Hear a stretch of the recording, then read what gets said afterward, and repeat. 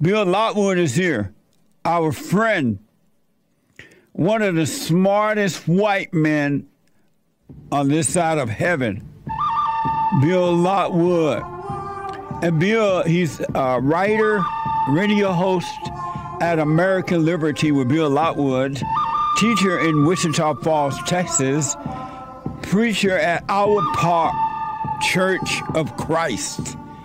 And we're going to tell you how to get to all of that. He's an amazing person. Really smart as 90 going north. Smart as 90 going north. Bill, good morning. Good morning, Jesse Lee. How are you this morning, sir? All is well. How are you? I'm doing great. I'm doing fine. Good. Uh, We had some strong weather here, but oh, you have strong weather there? Well, we have in a lot of storms, a lot of rain. We've had about three inches of rain in uh, the last uh, 12 hours. Wow. So maybe yeah, it's really coming down. maybe the Lord trying to clean up the illegal alien mess. Well, you know what? You know, he's given us some responsibilities on that one as well, and I'm afraid we're failing. Yeah, yeah, it's amazing to see it. I wanted to first talk to you about the aftermath of uh, Derek Chauvin's trial, where I believe an innocent cop, Right. an innocent cop has been put in prison. They're trying to destroy his life over unemployed drug addict George Floyd. Wh- What are you thinking about all this? Right. How do you see all this? Well, I, I think that uh, we have lost our soul in America as far as um, as far as ability to think clearly. Uh, for one thing, I agree that uh, Chauvin uh, was not guilty of murder. Yeah. You know, the, the hi- highest uh, crime I think that uh, was was there was manslaughter. However, it's turned into a not just a political circus, but it has turned into a black supremacy move here. Yeah. So you have Congresswomen, Maxine Waters, going there. Uh, you have uh, the one of the jurors of the trial, a woman, stated to the Minneapolis Star Tribune that she was afraid of reprisals against her own person and her personal property if they did not vote to convict him. That's the point. Is simply that the the blacks, Black Lives Matter, and the riotous Antifa mobs they have America now by the nape of the neck, and they're shaking it, and they're they're demanding uh, what they want, and we're not. It seems that many people are so powerless to stop it. So it's uh, even even the judge in the trial stated that you need to decide without fear of what the repercussions may be on this particular case. So he was perfectly aware of what this had turned into be.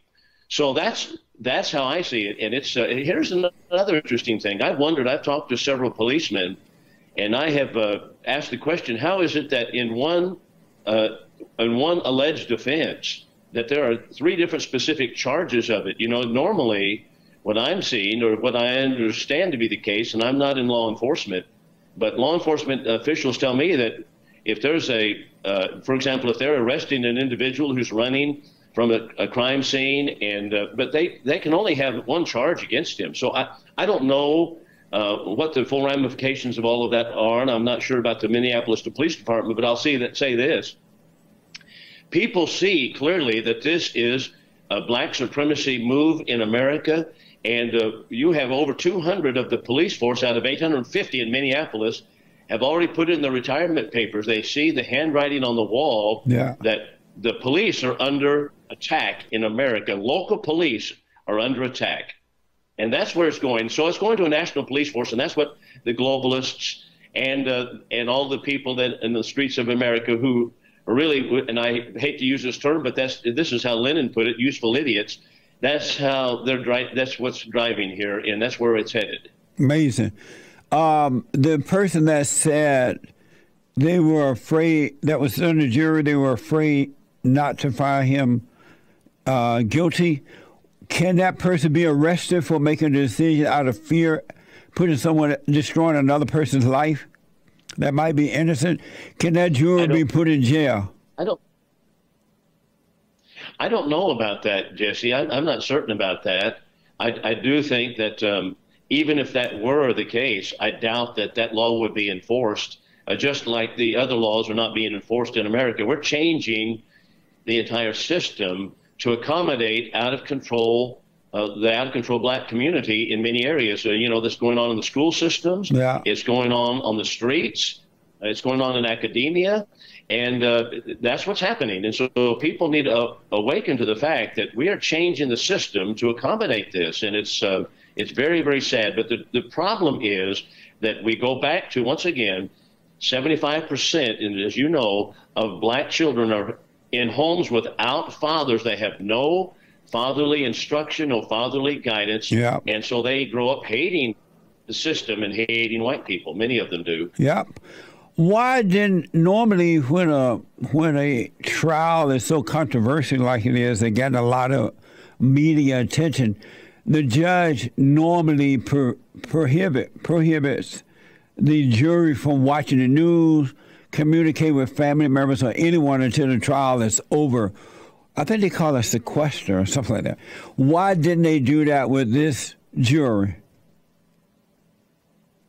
Well, I, I do believe that uh, just as we're seeing at George Floyd Square in Minneapolis, I think that the uh, the Black Lives Matter are in control of the entire narrative here, and I'm I think that the others are afraid to move and afraid to do things, uh, fearful that we're going to lose property and, and property damage will be astronomical and people's lives will be in danger, and they don't want to see the rioting. And I just I think that's what's happening here. But because Black Lives Matter and other radical black people know that white people are afraid and they can get away with intimidating them, it's just going to get worse. It's not going to get better because white people are giving the blacks what they want. It's only bringing out the worst in them. It's not going to get better. They're going to have the riots. They're going to continue to burn, rob, steal, and kill. Yeah. That's not the way you deal with evil people. No, that's right. You know what? It's, it's getting so far out of control that I saw an article the other day in which uh, some are saying that um, the, the, finger, uh, let's, no, let's say that um, that scanning cards is racist because um, uh, the, the, black people have to show the palms of the hands, the white side of their hands on certain in certain uh, scans, and so they say that's racist. It's like, it, it, it just never stops. It, it never stops. As, as far as your imagination can go, that's where they go with it. And that's right. If you if you have children in the home and, and they continue to throw temper tantrums in the store in front of everybody, and you give in continually, that doesn't help the situation. Right. It doesn't help out when they throw temper tantrums on the floor, and you continue to do what the child demands to be done. And it might be just a two-year-old, but it's not going to get better. No, it's not. Uh, I, yesterday, I, I, believe yesterday, we played a soundbite from Nickelodeon where they are calling the environment situation racist as well. And so everything is right. racist now. If you have a white toilet in your bathroom, it's racist. Yeah.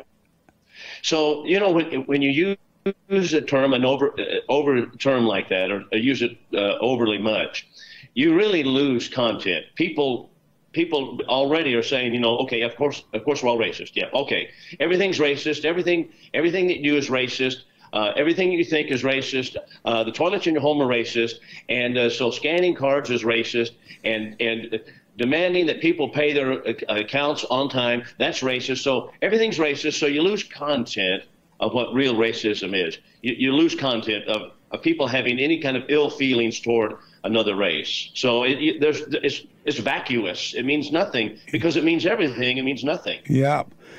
Are you surprised that white people are so afraid of the blacks, knowing that black people are just going to turn everything into a ghetto when they get hold of it? Are you surprised that the whites are giving up America and just allowing the the blacks to destroy it like this, they're just giving it over to the blacks, knowing that it's just going to end in in in a ghetto. It just, it's, it's not going to get better. It's only going to get worse. The country itself. Are you surprised that white men are just giving it over like that instead of putting up a fight? Well, I am I am saddened by it. I don't know if I'm really surprised. I've been I've been predicting that this would be the case in my own in my own soul for a long time. Uh, for one thing, uh, the colleges and universities have stultified our intelligence, have really have really blunted our critical thinking, and have really emasculated people from standing up for principles and so when I see it, see if I gauge it by looking at the churches, just for example, in the churches. Yeah. And I'm in conservative churches. Churches of Christ are conservative.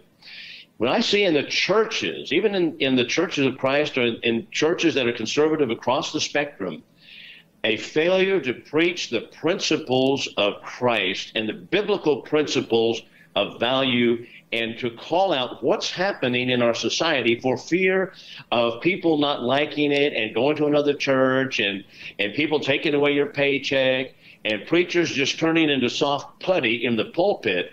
When I've seen that for the last 40 years, Jesse, I'm really not surprised that to see it with people who are not in the churches and who are simply in secularism. I'm not surprised at all. Amazing. Yeah, the churches, for the most part, are no good now. They're just they're just around. The people, the people lifting up holy hands, waving their hands, carrying on, while the country is falling apart. The children of Satan putting them in bondage, and they're doing nothing about it. I uh, never thought I would see that in my lifetime either. It's amazing to watch that happen. Also, I noticed that over the years, the Christians have been the Christians have been convinced to uh, that Christians should not be involved with government. They should not run for office. They should not get involved. And a lot of so called Christians believe that. And now we have a secular government that are passing laws enslaving Christians because they hate Christianity. And so they're enslaving the Christians. Why would the Christian allow anyone to, to convince them that they should not be in government? They should not be involved in government. Well, that that reaches back, at least as far as I can recall, in my studies, to LBJ's period in the 1950s, where Lyndon B. Johnson uh, really stole an election for the Senate in the state of Texas, and uh, he had been opposed so vehemently by the Baptist churches and churches of Christ, and the preachers in the pulpits had been opposing him. So he, so one of the things he did was he put into the IRS code that churches could not have anything to say from the pulpit about any political issue. And from that point forward they all kind of they kind of backed out and said well we don't want to have anything to say about it regardless of the fact that politicians are trampling over over religious principles trampling over morality and common decency and erasing biblical value at every level of society trampling it with hobnail boots. And yet preachers still do not want to preach out about it. The pulpits are too weak.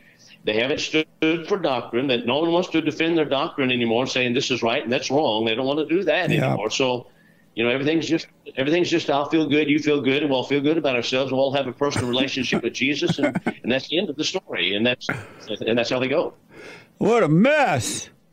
Um, there's something called. It is a mess. There, there's something called the Equality Act and there are places, uh, the Equality Act places LGBTQ in the Civil Rights Act.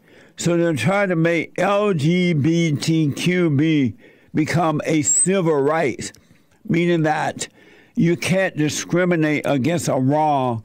If you, you got to hire these people, you got to treat them like they're just normal. What do you think about that? Well, you know, sodomy in this country is one of the banes of our society. It's it's a horrific crime against God, and it's not to say that other sins are not criminal also, but it is a it is specifically in the Bible. You know, the Bible shows us that there are some ramifications and influences of some sin that are more far-reaching than simply if I tell a, a lie or I tell a white lie, not to not to justify anything but there are some sins that have a lot more ramifications on society and upon uh, the culture that we live in. And homosexuality, sodomy, is one of them. Neil Gorsuch, who supposedly is a conservative set up by President Trump or put in uh, uh, that is nominated by Trump and agreed by the Senate, put into the Supreme Court last summer.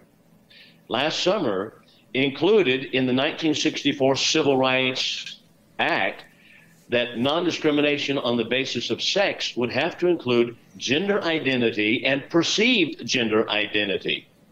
So now, colleges, Christian colleges, Christian universities, Christian schools, Christian high schools, Christian grade schools are going to be forced, and the Biden administration wasted no time in implementing this, in forcing Christian colleges, private institutions to implement the 1964 Civil Rights Act in the basis of the LGBT and on the behalf of LGBTQ community. Amazing. Translated, that means you can't have girls' dormitories separated from men's. You can't have girls' sports separated from men's sports. You can't have girls' bathrooms separated from boys' bathrooms.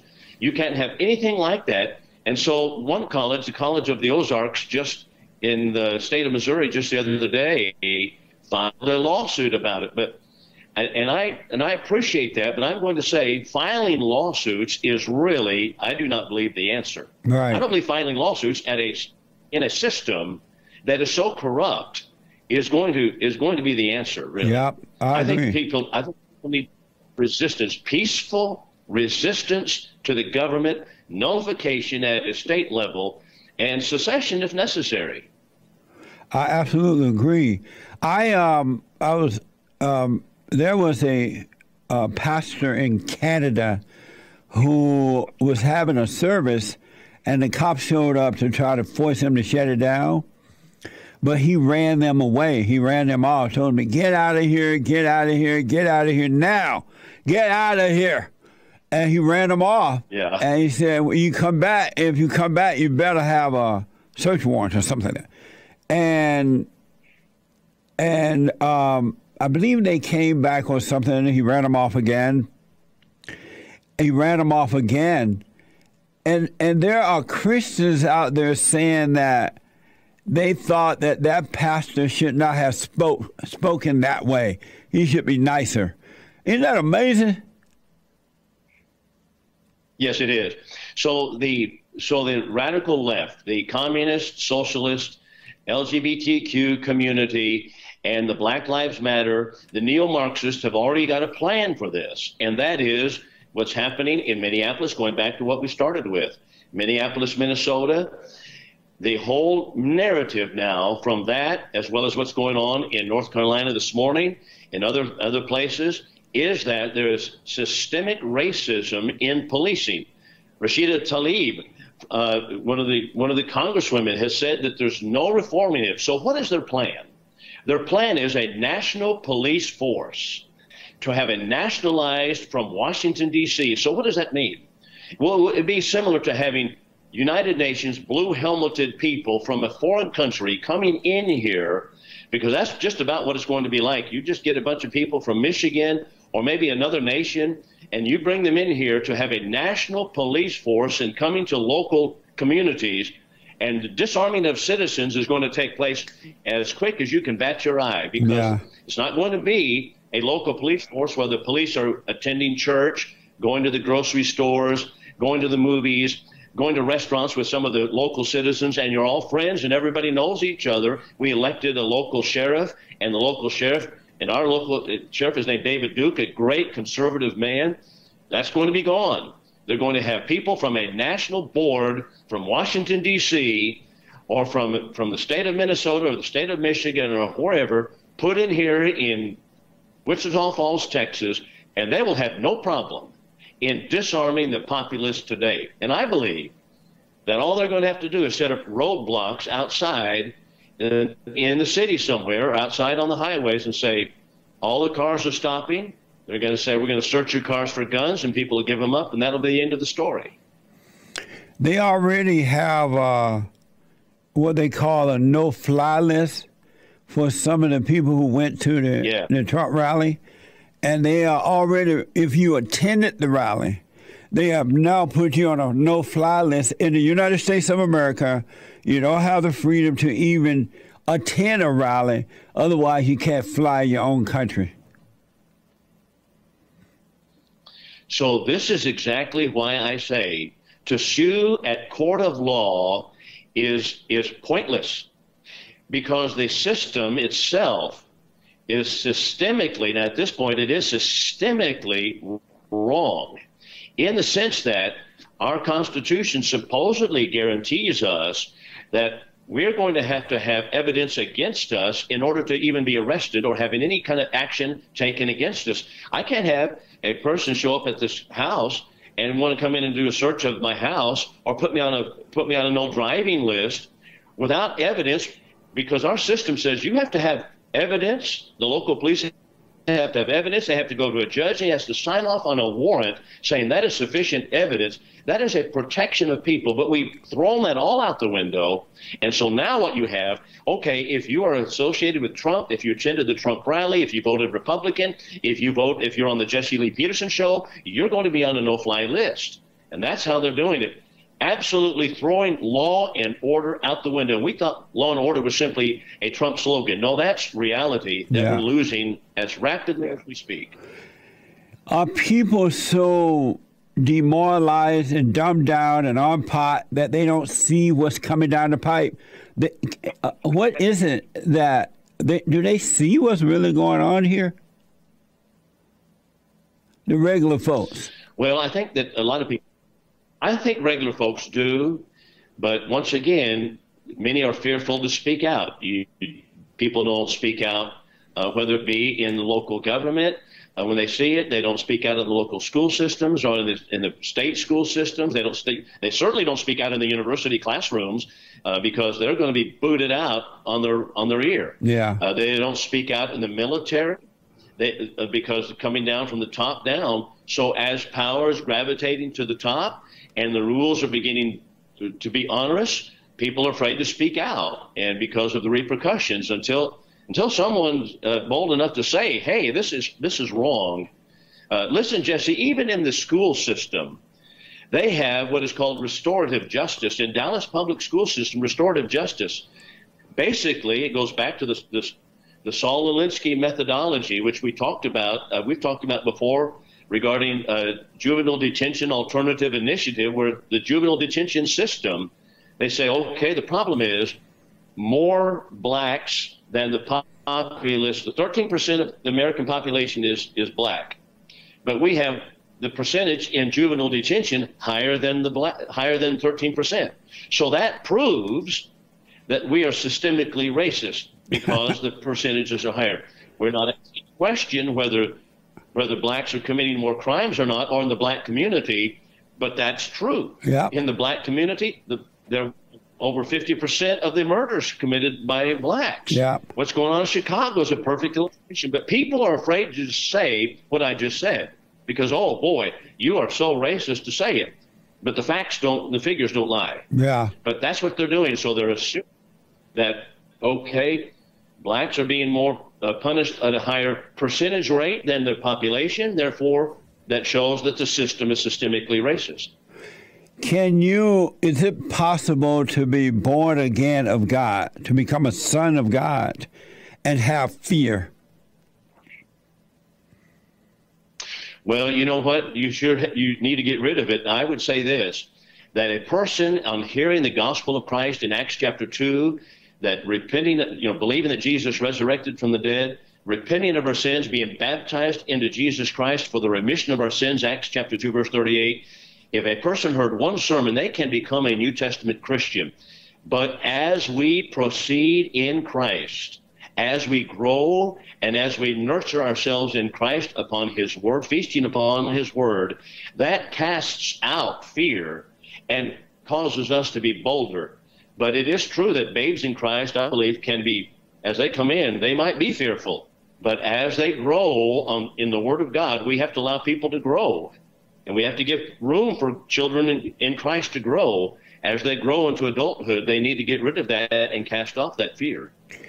They, um, um, for a while, I was saying that uh, mommy Africa is coming to America.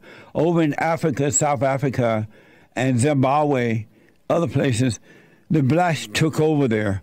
And what they've done is exactly what's happening in America now. They they took away the police force.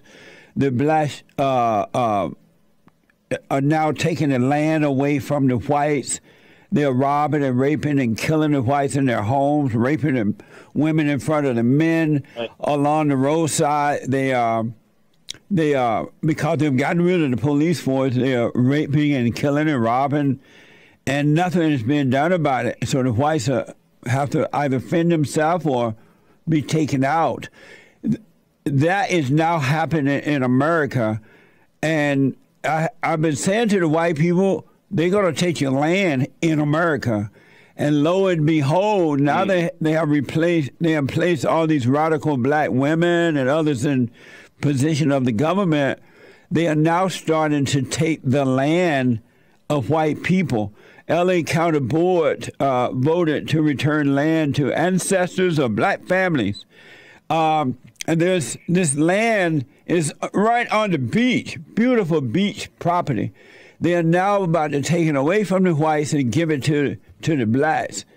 And I, I, I tried to warn the people that because they won't speak up, that that will be happening in America, but most people didn't believe it.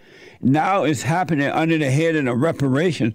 It also happened in Illinois, and it's starting to happen around this country. I have not followed that specific story. I do know what's going on in South Africa. And uh, that, once again, is simply communism, Marxism, neo Marxism. It's all this is. And we have, I mean, this is a, we're in a, we're way down the track. If that's already going on in America, yeah. we are way down the track. Bill, and, uh, hold on for me. What, Can you stay late. a little longer? Sure, I'd be happy to. All right, hold on for me. Let me take a quick break. Bill Lockwood is here, and it's amazing. The people love him. He knows the Constitution better than anybody else walking this earth, and uh, it's my joy to have him on. So, yeah, Bill, in L.A., uh, they are taking back the land. I mean, down in Redondo Beach, or one of those white, beautiful white areas down there, and they're giving it to the blacks and without, uh, uh, I don't know if they're going to pay the folks for the land or what's going to happen, but uh, and they have in, um, I believe, in some parts of Illinois, they are give, giving black people money and all kind of crap going on, and the blacks are not going to do anything with it for the good. They're just going to turn it into a ghetto. My question is I mean, I don't know what's going to happen to the folks allowing South Africa to happen in America. Are you surprised that the blacks are allowing themselves to be used to usher in evil? They are happy to do it. They don't mind because they think they're getting something for nothing and they hate white people because of the destruction of their homes. Black people, and not all, not all, not all, but most, they have no love. And so they're like, joyful that they are being used to usher in evil. Are you surprised by that? Well, no, not really, because uh, it's it's almost such as a system of welfare. Uh, if we just take it back to welfare, if if I'm a politician and I promise to take money from your neighbor and give it to you, I promise to give you money, then I have just bought your vote. Yeah. And I may have lost his vote, but I've just gained yours. If I promise to give it to two people, then I've gained two votes versus one. So it's it's a matter of selfishness. It's a matter of self-centeredness, and that's what we've allowed to happen. We've been doing that for, well, I guess since the time of FDR, over 50 years.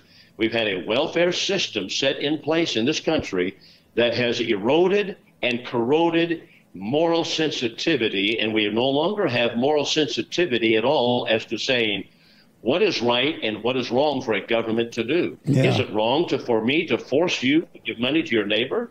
Yes, it is. Yeah. I can only I can only take the politicians are not giving their own money. So since that has been in place for so long, I'm saying that that has weakened our moral compass and has really has really spun us around and made us very dizzy thinking about morality. And that's what's happening. And they have utilized the black community uh, probably more than any other. And LBJ himself in the Great Society even stated that he was going to have black people voting for him and the Democrat Party forever. Amazing. I um I I want to play this soundbite of this Canadian pastor. Uh, have you seen it already? No, no, I have not. Uh, is Bill able to see it if we play it? Uh, I don't know that he will be able to. See. Oh, you won't be able to see it, Bill, but you will hear it, where he is. Okay. Be- the cops showed up, and you can watch it later uh, um, on podcast. But the cops showed up and he, to his church on a Sunday morning. He ran them off. It was so amazing. Here's that soundbite. Get out of this property immediately. Out. I don't want to hear anything. Out of this property immediately. I don't want to hear a word. Out. Out. Out of this property immediately until you come back with a warrant. Out. I don't care what you have to say. Out. Out. Out of this property, you Nazis. Out. Do not come back without a warrant. You understand that? You're not welcome here. Nazis are not welcome here. They're coming to intimidate Christians during the holiest festival. Unbelievable. and he ran them off a second time as well. And if I'm right, I may be off a little bit, but this pastor moved to Canada from a, a communist socialist society, country, wherever he came from. And so he recognized what is going on because he lived in that environment I don't think most, most Americans really recognize what's going on here. No, they do not. And, uh, you know, in, in, in, Texas, I know in uh, this area, a lot of people in the congregations are carrying. They're, they're conceal and carry. And so, um, you know, it wouldn't be just the preacher standing up and saying, get out. It would be the men in the congregation. Yeah. But, uh, you know, such as the shooting t- took place in uh, Fort Worth, uh, Church of Christ in Fort Worth, a couple of, I guess it was about a year and a half ago, uh, where there was a, an armed man was able to stop the slaughter of Christian people by a man who came in and shoot them. And yeah. you remember that, how that went. So amazing. Um, I want to ask you. Oh, two things I want to ask real fast, and then I want to squeeze in a few calls for you if you don't mind. Sure um, number one, I say that not all, not all, but most black people are cursed and not blessed. Am I wrong? Uh, I'm sorry, you cut out there when you the last portion of the question. I say that most black people are cursed and not blessed. They are cursed, generation after generation. Well, if you consider fatherless homes to be cursed, and I do, that would be true. Yeah. Uh, be, but it's it's because the government has has replaced fatherhood and ma- apparently manhood in America and responsible Christian fathers. So since that is the case, it has been a curse to the black community in the black home since 75% of children are growing up without any fatherly guidance. Yeah. That's true. And it's not uncommon for black young black folks and older too to be fighting in public.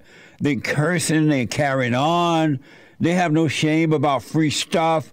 They hate their fellow man. And it's just going on from generation to generation. And when I read Deuteronomy 28, you read the blessings and you read the curses. All the curses are happening to the blacks.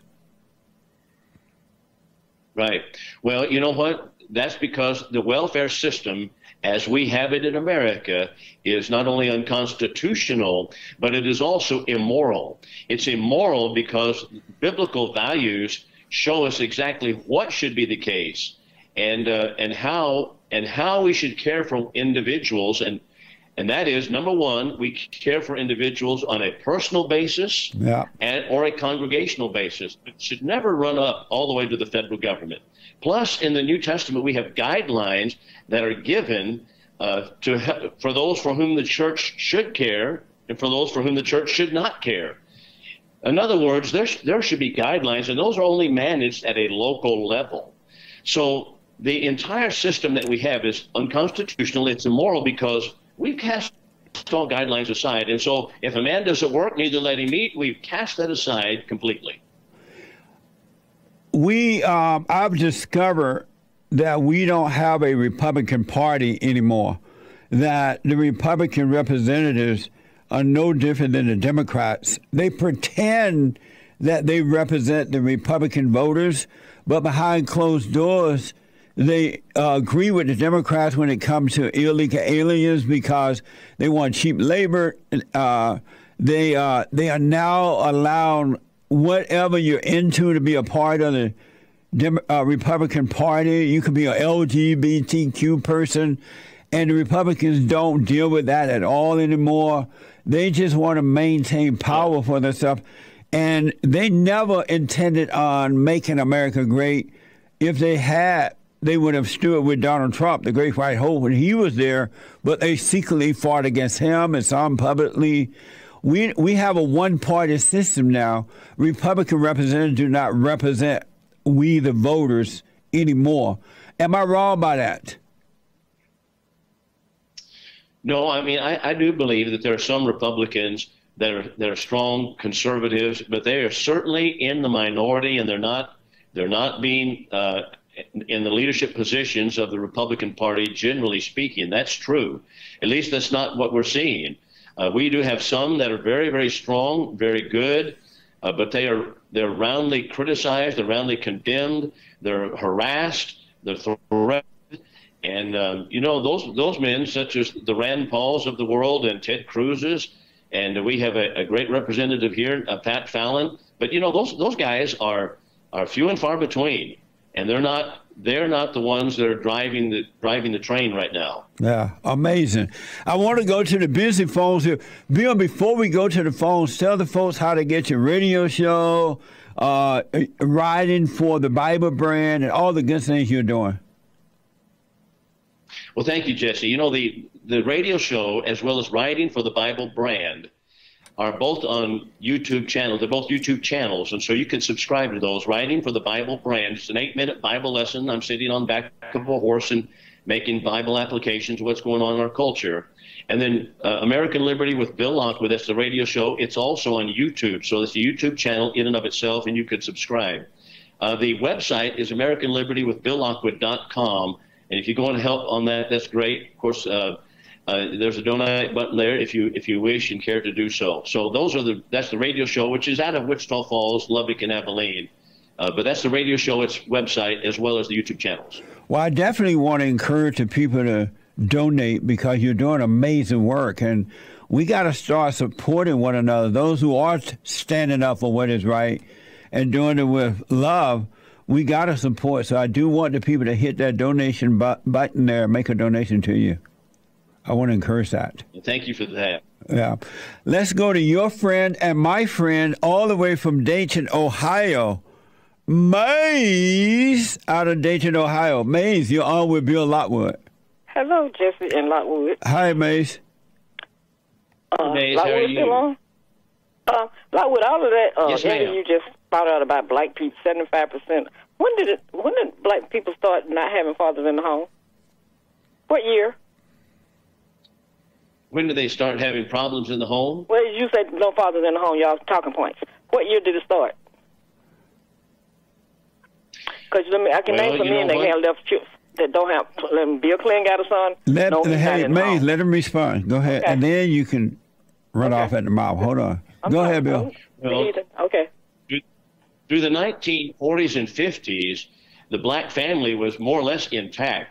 But through the 1960s and the Great Society, it began to fall apart as the government stepped into the father role and the fathers departed from the home. As a matter of fact, LBJ's Great Society purposefully, on purpose that is, removed the black fathers from the home. For example, they had a, a project in St. Louis, Missouri, in which they disallowed black fathers to be in the apartments with the women.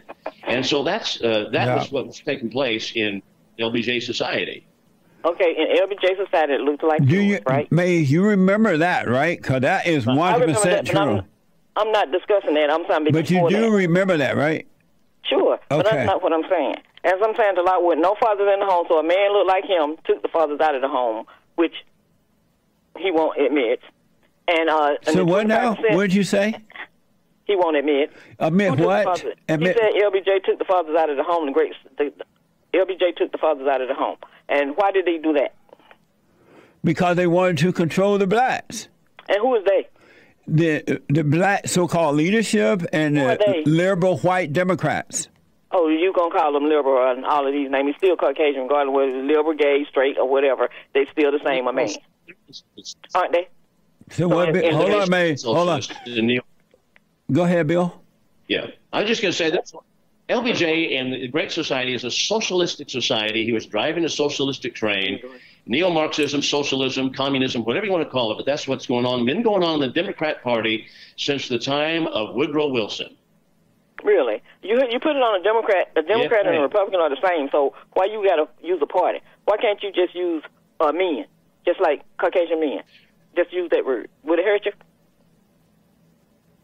Man, you're not making any sense. Well, you need to I stay off the pot. He keeps screaming hollering a Democrat, a liberal, and a Democrat. a But it was the it was the uh, It black was- so-called civil rights leader who no encouraged it as well. Yes, and no blacks had nothing to do with. It. Yeah, what Jesse Jackson and all those guys, they did have No, something to do because with just that. When Jesse Jackson and those others were small and, and, and not even grown and doing anything, I, I have no idea what you're talking about. I know you don't, but Lockwood do. He, in the name of Jesus, and in Jesus' name, the heathen. As I say it. you're a heathen, regardless if you like it or not. And Jesse, you know that land, on people. Hold on, try to get man. back- Let Bill. Hold on. Calm down. Go ahead, Bill. Okay. I'm not trying to waste Well, I'm your just going to say, I mean, I don't understand the. Um, I don't understand that. I mean, is it, are she denying the facts of the case that the black man was replaced in the home by the LBJ Great Society? Is that No, it what I'm wasn't. here? I Are, don't you- know. are you denying that that happened, Mace? No, I didn't deny that. I asked him why did who. I told him I asked him who took him out of the home. It, the black He man told you who did it. Somebody did it. He won't say it. He just said the Democratic Party. In other words, he's saying the Caucasian men went and disturbed the black community because they did not like the way it was going. They had, they still have families. I don't know where you get the seventy five percent from, because you got, uh, you, got have some. Got it. You have got it. That's exactly right. It's just it's just the same as that Lee? Harvey Oswald was killed. It's the same as Lee Harvey Oswald was killed by another man because he can. The, Oswald was a what they called a useful idiot. The that's right. Many But white communists and white neo-Marxists absolutely use the black community to create a communist society. That is, you are You keep talking about a communist. But like what I'm saying is like when Strom Thurmond went into somebody's other woman's Oh, house. I know what Mays is doing, Bill. No, no, no, uh, no, no. Mays, I mean, hold on, went Mays. into- Hold on, Mays. I'm not. Just one second, Mays don't want Mays don't want the blacks to take any responsibility at all for their failure. They want to, she want to blame it totally on white people. That's No, what she's not what I'm- saying. But she's No, I'm trying to speak put words in my around it. She's trying to speak around it so you don't see what she's saying. She No, want to take away the responsibility of the of the blacks. Period. Jesse, you're funny. But as I'm telling Lockwood, when Hold on, Strong Mays. Let Bill respond to that. Can I say one thing and then he'll understand? No, what I'm you saying? say one. You say ten things in in one second. Hold on. I'm explaining what I'm trying Hold to say. Hold on, to him. Mace. Go ahead, Bill. You know what? I, I'm going to say that communists have, in writing, for years and years and years and years, stated very plainly in print over and over and over and over again that they plan to use the black community to drive a wedge in American society in order to create a Marxist revolution. That's what they've said. That's what's happening. I, I don't know how else to explain it. Yeah. So now can I explain what I'm saying? When Strom Thurmond went into the lady's house and she, he left her without a father in the house, Bill Clinton went into the lady's house and he left his son without a father in the house. So what happened there? Uh, Lockwood, can you explain that one? The explanation is Uh, uh. exactly the same. It's immorality. Really? Allegedly, Mace. You don't know if that's true or not. allegedly. You- You had his son on your show, Jesse. So what you mean allegedly? But You still, we don't have proof yet that that's Have truly his son. okay. Oh, we don't want to go there. So real Lockwood, as I say, Right. the scripture in the Bible says. Hold on, false Mace. prophets- Bill want to respond. Hold on. No one is saying that white people don't commit immorality. No, no one is saying that. No, you That- talking about that's fathers, no fathers in the house. I'm obviously true. That getting doesn't- black people that didn't have them in there, and some reason why. And, and, and Bill uh, and May, Well- anyway, black people were calling Bill Clinton black, so it's still the I same. don't care what they were calling him. Because He they were saying that Bill Clinton was their first black president. Amazing. Yes, Jesse. So in in the heathen is still talking. So you keep on with your heathenist ways, and you know what's gonna happen. And Jesse, with the people with the land for ninety seven years that they've been trying to get back, that was taken from them, you don't think they're supposed to get their land back with No. royalties? No. I didn't think you thought so. All right, thank you, May. I got to run. I do. I want to squeeze in Philip out of Texas. A first time a caller for Bill Lockwood. Philip, welcome to the show. You're on the air with Bill Lockwood. Yes. Uh, good morning, Bill Lockwood and Jesse. Thanks for having me on. Thank, Yeah. I love your show, man. I, I have your book. Thank love you. you. You're a great guy. Thank you. Um, I don't, but the only discrepancy I see in your guys' conversation is um, I I, I understand um, that uh, not having a family does lead to like this. You know, it's a it's, it's a it's a terrible thing. But for Black Americans, I don't see how you guys are skipping over uh, what this government has implemented on the Black family. I think you guys do a good job at skipping over the history of the Black American plight in this country. What history is that? Uh, area are you talking about, right. Philip? Okay, check this out. I'm gonna explain. Right after slavery, you release slaves. You rep, you paid this government paid reparations to slave owners.